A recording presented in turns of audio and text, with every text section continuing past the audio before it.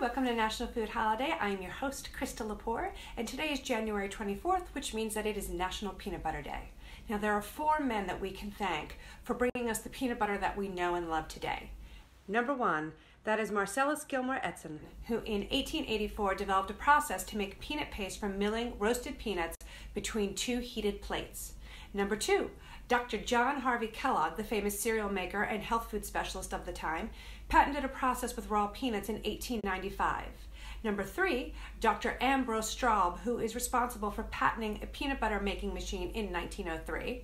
And number four, the man who brought us the peanut butter we know and love today, Joseph Rosenfeld, who in 1922, through homogenization, was able to keep peanut oil from separating from the peanut solids. So whatever you're doing today, make yourself a PB&J and celebrate these men, and I'll see you at the next one. Cheers.